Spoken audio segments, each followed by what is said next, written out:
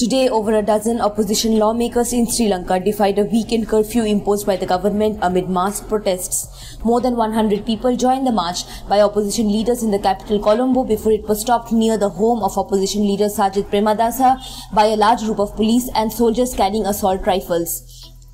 Yesterday, the Sri Lankan government blocked access to all social media platforms including Facebook, Twitter, Instagram, WhatsApp and YouTube to try and suppress protests against President Gotabaya Rajapaksa.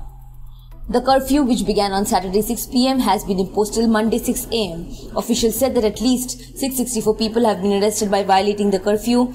The curfew and state of emergency in the nearly bankrupt country came as social media posts called for protests today. The laws allow the military to arrest and detain suspects for long periods without trial. In his defense, President Rajapaksa said that the state of emergency was needed to protect public order and maintain essential supplies and services. Hashtag Go Home Rajapaksas and Gota Go Home have been trending for days on Twitter and Facebook in the island nation. The ongoing crisis in Sri Lanka is the result of economic mismanagement by successive governments and has been compounded by the COVID-19 pandemic which has hit tourism and remittances.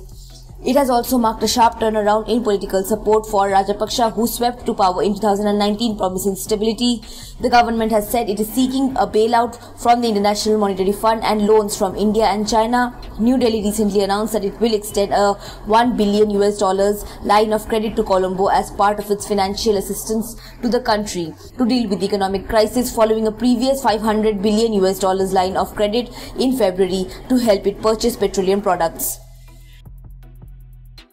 Subscribe to Oneindia channel and never miss an update.